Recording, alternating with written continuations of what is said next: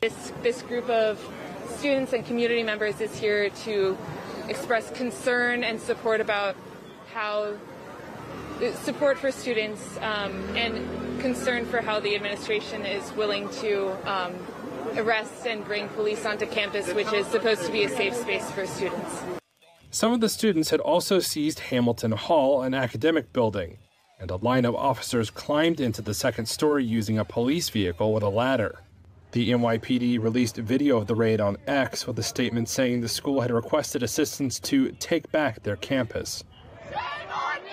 Shortly after officers had moved in, Columbia University President Minouche Shafik requested that police stay on campus until at least May 17th, two days after graduation, saying in a letter it was, quote, to maintain order and ensure that encampments are not reestablished.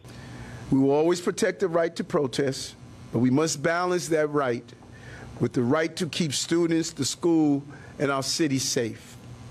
We cannot and will not allow what should be peaceful, a peaceful gathering, to turn into a violent spectacle that serves no purpose.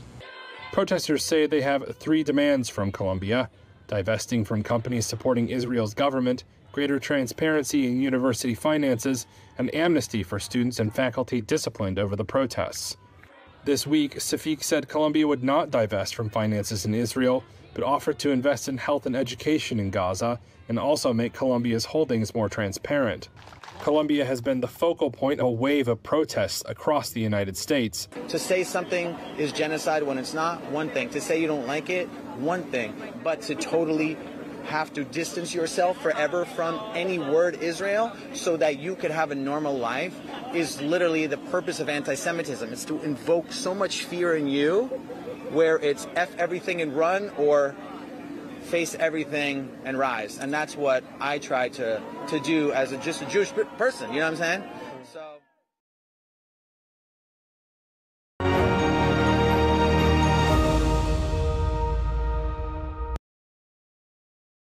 We are troubled by a series of heavy-handed steps taken to disperse and dismantle protests across university campuses in the United States of America. Freedom of